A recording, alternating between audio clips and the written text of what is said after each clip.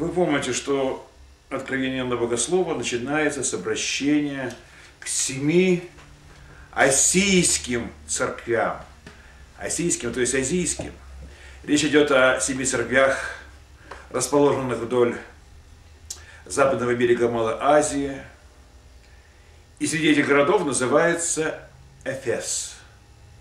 Обращение к Эфесской церкви. Этот город знаменит тем, что там родился и жил философ Гераклит, Гераклит Эфесский, который впервые стал говорить о логосе. Логос. В буквальном переводе с греческого означает слово. Но еще имеется и другой смысл, другая семантика. Логос – это разум, мировой ум. Именно Гераклит прозрел в игре космических случайностей разумное начало, назвав его логос. И вот волю судеб в этом городе оказался уже на закате своей жизни Иоанн Богослов, евангелист, лицезревший самого Христа. Он сопутствовал Богоматери, как бы опекал ее уже в ее зрелые годы. Он там и похоронен. В Эфесе можно подойти к могиле Иоанна Богослова, там поклониться. И вы помните, что Иоанн Богослов тоже учил о Логосе. Вначале было Слово, и Слово было у Бога, и Слово было Бог. Начинается Евангелие от Иоанна.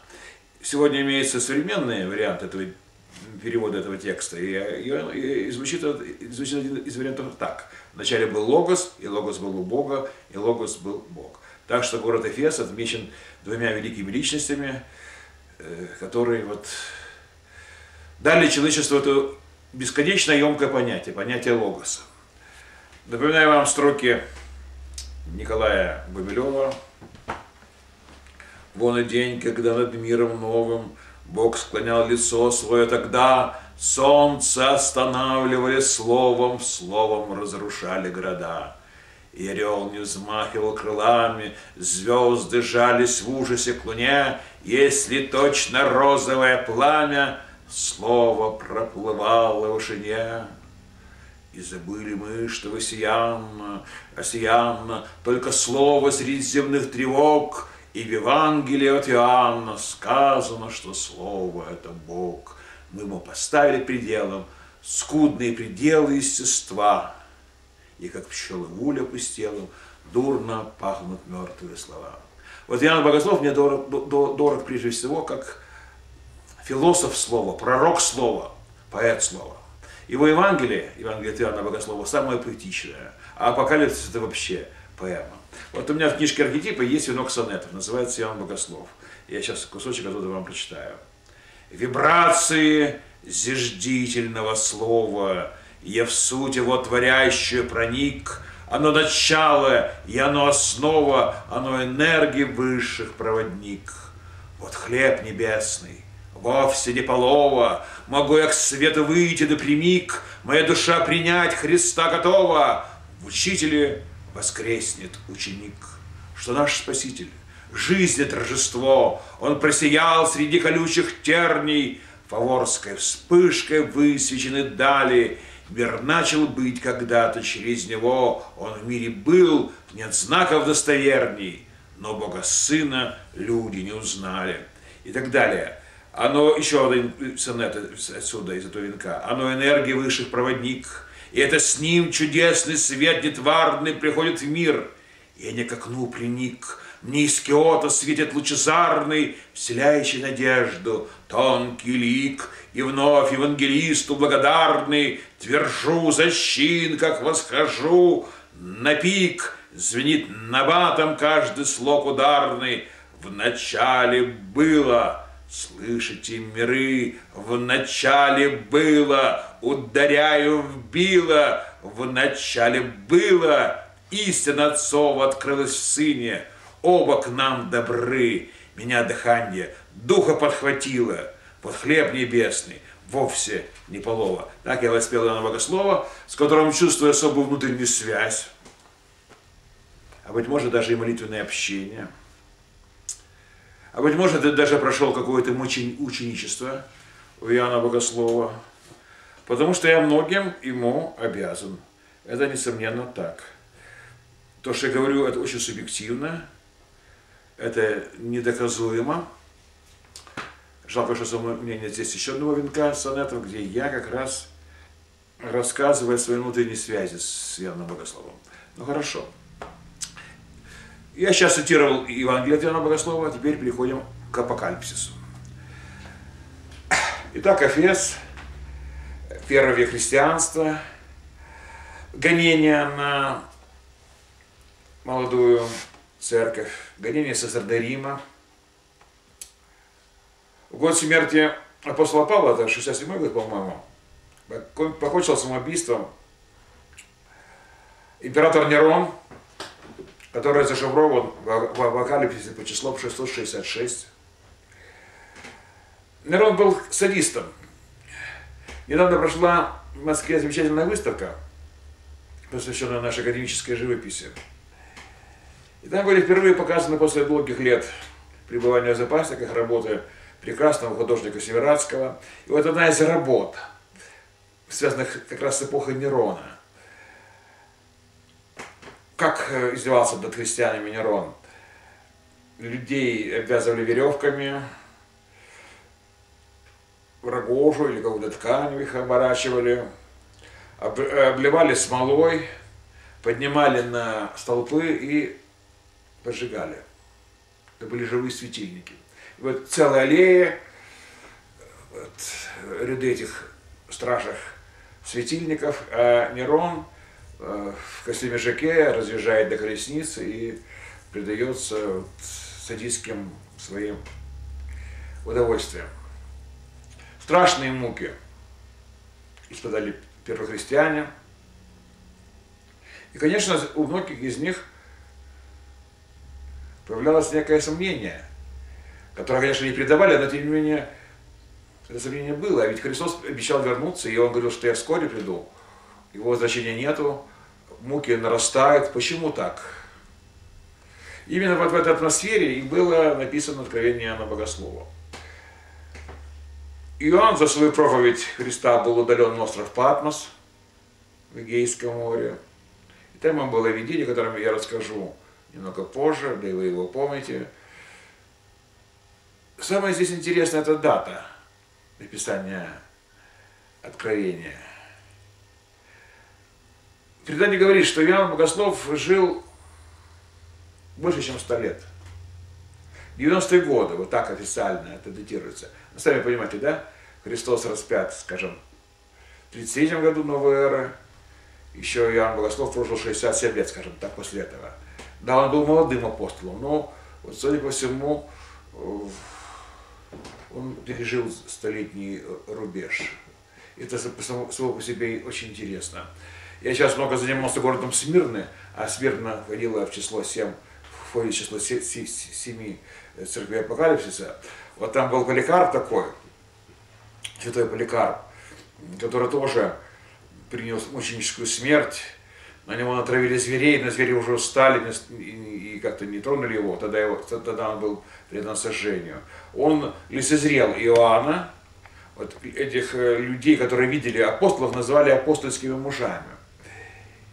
И вот он рассказывает о том, как диктовалось это откровение, как э, при этом присутствовали люди, которых он лично знал.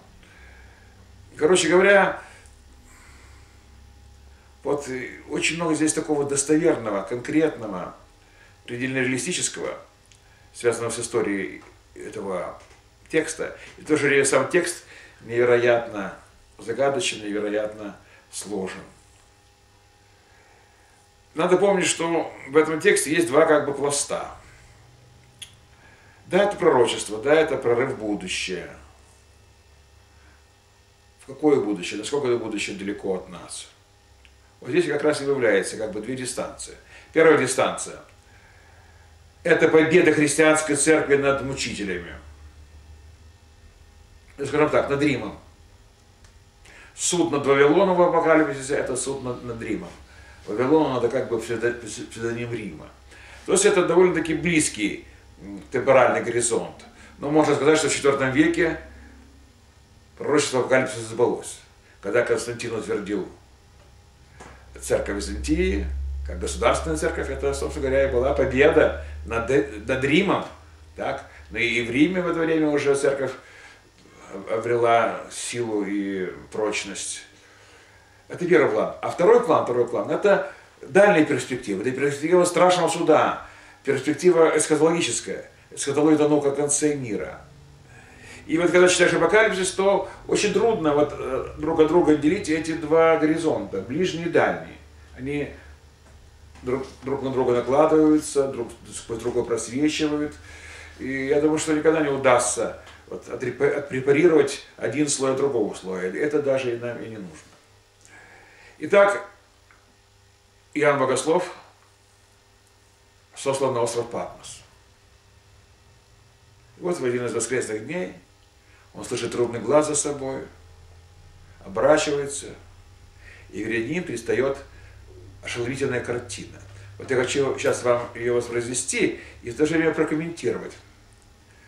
Да, это мистическое откровение, да, это экстаз, а экстаз означает перерастание эмпирических горизонтов, экстаз означает выход в трансцендентное измерение. И это мы все здесь наблюдаем, это все мы здесь констатируем. Он видит престол Божий. Это престол Бога Творца, Бога Отца. Сам Бог ему своего лица не открывает. Мы еще вернемся к этой теме лик Божий. Он видит только сияние. Это сияние дается через метафоры. Прибегается, используются эпитеты, э, связанные с, разноцветными камнями, с драгоценными камнями. Э, постоянно в апокалипсисе мы видим апелляция к минералогии. Называются самые разные камни, и сапфиры, и хризопрас, и халцедон, и топаз. Вроде это физическая природа, вроде это материальный, твердый, вещественный мир, но камни символизируют световое начало. Э, камни есть уже как бы преображенная материя. Итак, престол Божий. Вокруг 24 малых престола. На них восседают старцы. Это 12 иерархов, патриархов Ветхого Завета и 12 апостолов Нового Завета. Вокруг престола мы видим еще и э, семь духов, воплощающих волю Божью, реализующих его э, Бога э, помыслы. Симметрично расположены э, четыре животных, имеющих лики льва, тельца, орла и человека. Это, скорее всего, символ евангелистов. У этих животных э, шесть крыл, как у серафимов, глаза спереди и сзади. Вообще они многочиты, многочиты, и они символизируют сведения Божье, доступность Богу любой части мироздания, его присутствие в любом локусе, в любом моменте бытия.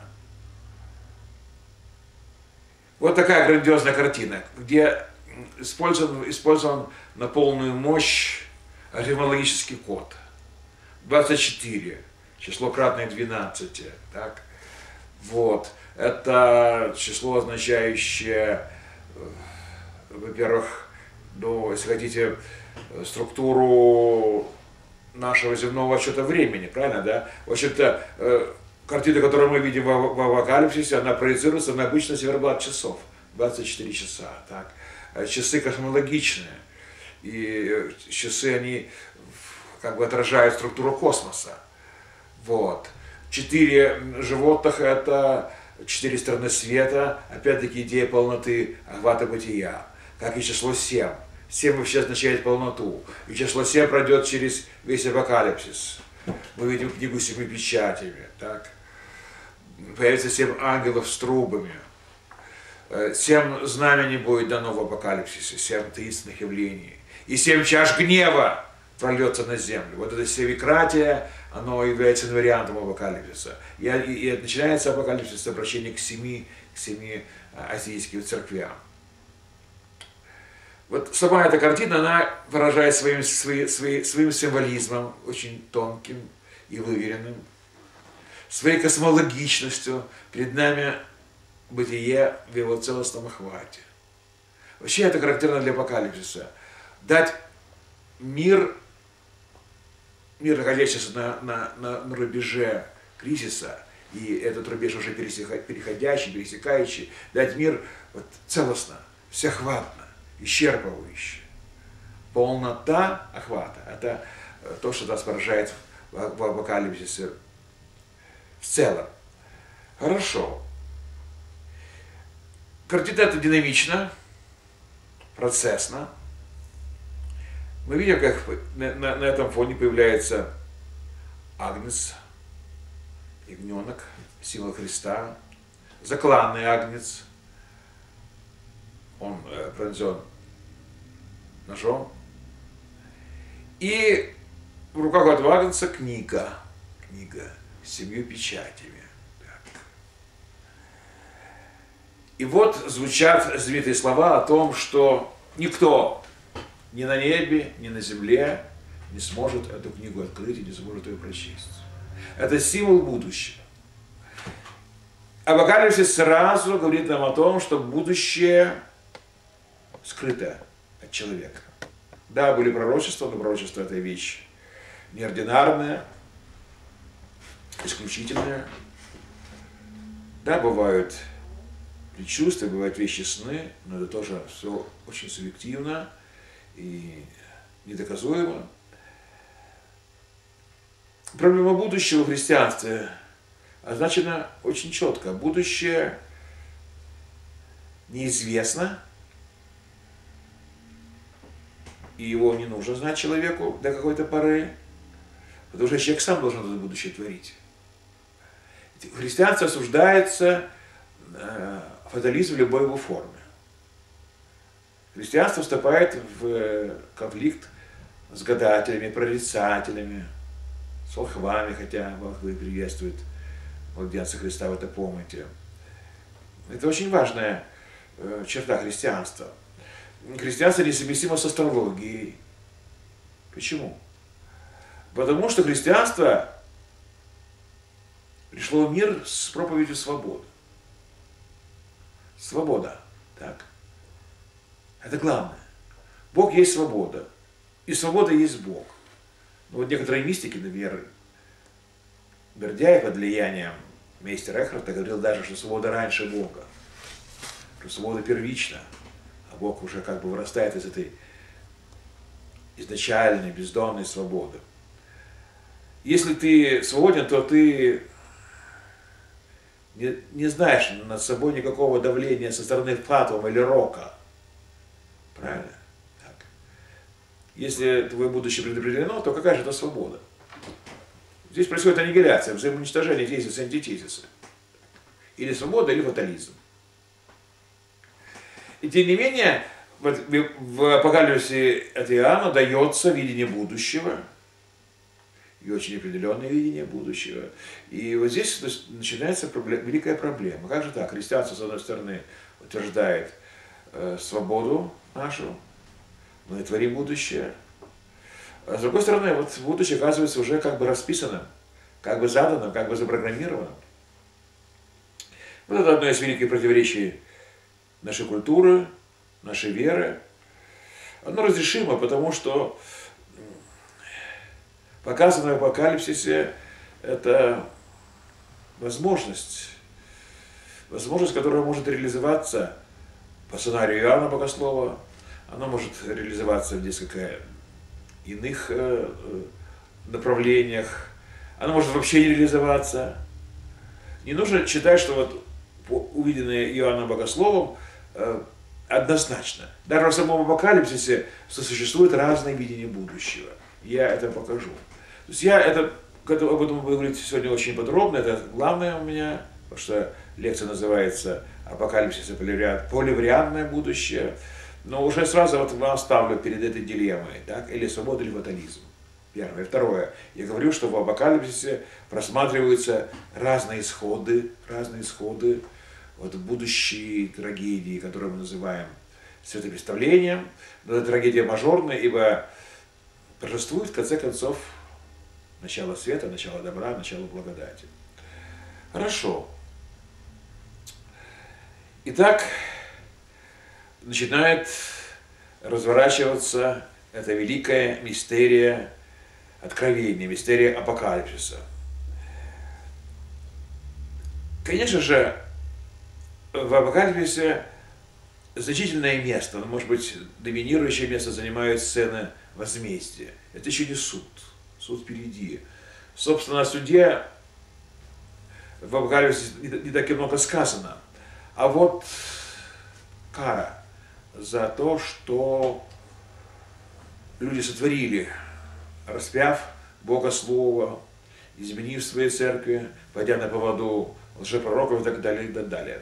Я не буду сейчас перечислять эти зрелища, но только некоторые из них э, вот вам напомню, так? Ну вот вспомним э, четырех коней. Э, конь белый – это положительный конь, это, сказать, сам Христос является э, в образе всадника. А вот э, конь вороной – это конь, несущий голод, конь рыжий, конь, который уносит мир земли, и конь блед, конь смерть, вот эти страшные всадники проносятся над землей. Трубят трубы, скрываются печати, и каждое это событие сопровождается тем или иным катаклизмом. Но один из таких самых ярких катаклизмов – это звезда Полынь, звезда Полынь, которая падает на землю и отравляет треть вод. Вот эти, вот эти образы, самые знаменитые, конь Блед и звезда Полынь. И да, у многих апокалипсис ассоциируется именно с, с ним. Грандиозные метафоры, грандиозные видения.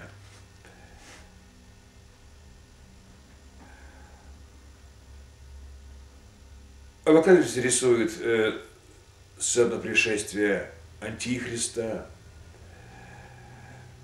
э, лжепророки появляются, уже свидетели. Вот этот мир лжи, мир неправедный, мир э, миражный. Вот и, нужно этот мир преодолеть, и для этого задействованы прежде всего силы огня. Силы огня.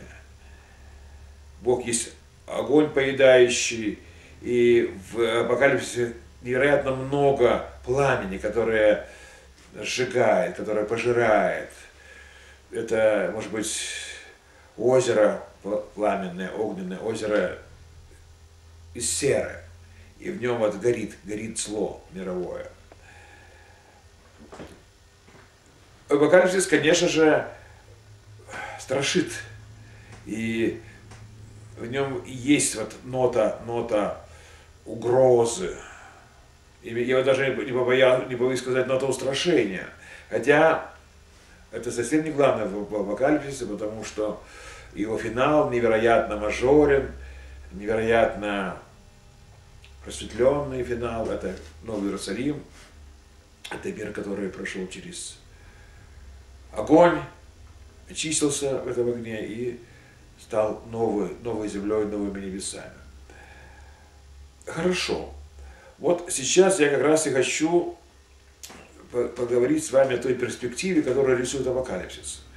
Не будем останавливаться на этих сценах, связанных с э, божественным возмездием.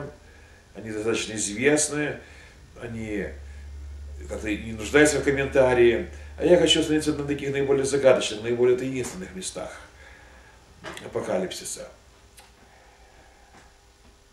Ну вот прежде всего давайте обратимся к некоторым страницам из апокалипсиса. Вот я тут их и выписал для себя. И вам хочу их сейчас э, про, прочитать и прокомментировать. Итак, мы движемся к спасению, но это путь катастроф. Мы чаем преображения, но мы за этим заплатим, за это, за это преображение мы заплатим ценой жутких потрясений, невероятных катаклизмов. Здесь очень четко сказано о катастрофизме – мировой истории. Не все принимают необходимость катастроф, необходимость катаклизмов. Вот наш русский философ Николай Федоров, французский философ Тер де Шарден считали, что переход в новое состояние, состояние преображенного мира, где нет ни смерти, ни тления, ни болезней, возможно, глад, в варианте, плавном варианте. Примерно так же мысль апокалипсис наш э, великий композитор и пророк Александр Николаевич Скрябин.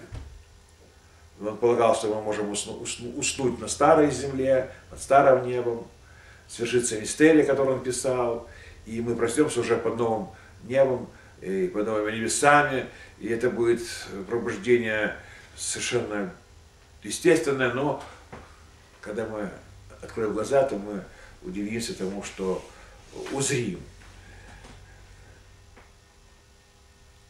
Я хочу сказать, что в поливариантном будущем возможны и такие сценарии, когда переход на новую ступень, качество новая ступень произойдет без вот тех жутких потерь, которые описаны в апокалипсисе. Там потери невероятные. Так? Вообще погибает треть человечества, это как минимум. Очень любит э, э, число три э, Иоанн Богослов. Треть вот отравляется звездой полынь, э, треть э, людей умирает, прежде чем начнется э, само светопредставление и так далее, и так далее. Все-таки надо согласиться с Иоанном Богословом, его видение катастрофического выхода к свету, именно через катастрофу. Жизнь трагична, бытие трагично, вера трагична. И вот Апокалипсис, он прекрасно именно этим своим э, трагедийным пафосом, трагедийным накалом. Нет ничего легкого, нет ничего простого. Ужасны муки праведников, но ужасны и муки тех, кто будет наказан за свою неправедную жизнь. И требовать от Бога мягкости, снисходительности. На каких-то этапах мировой истории нельзя. Должно быть, должно быть осуждение, должно быть наказание, но это осуждение, это наказание не, не есть э, полный финал для тех, кто подвергается. Кто-то обратите внимание, что Иоанн Богослов намечает перспективу спасения даже для, казалось бы, самых безнадежных грешников, для самых безнадежных отступников. Но к этому я вернусь позже, это самое главное и самое, самое интересное. Итак, катастрофа, которая потрясает, переворачивает наше сознание. И обычно вот мы задерживаем свое внимание именно на этой стороне, на этой стороне апокалипсиса. Но вот его финал апокалипсиса. Итак, э, книга э, открыта, все семь печатей сорваны, показана мировая история на ее последнем отрезке. И вот мы приближаемся к рубежу, где, где кончается время, начинается вечность. Это финал апокалипсиса. Хотя еще раньше ну, во многих его фрагментах вот рассеяно, рассеяно сияние вечности. Как говорит э, о, о себе высшее начало, вот оно есть Бог, Он есть и был и грядет. Есть настоящее время, было прошлое время, грядет будущее время. Вот в этом сочетании трех времен уже сквозит как бы э, вневременность или сверхвременность, уже выход в вечность, выход в вечность, так. Апокалипсис – это книга о переходе из состояния времени в состояние вечности. Это главное, главное. Это то, что мы называем преображение. Преображение. Так. И вот э, эта черта, эта черта, которую я сейчас означил, вот этот рубеж между временем и вечностью, как мы его пресечем – с какими потерями. Это может обсуждаться, это может дискутироваться, дискутироваться. И в этом как раз и проявляется поливариантность будущего. В этом как раз и мы находим путь к тому, чтобы совместить философию свободы, присущую христианству, вот с тем прорывом будущее, которое составляет содержание апокалипсиса. Нам явлен образ Нового Иерусалима.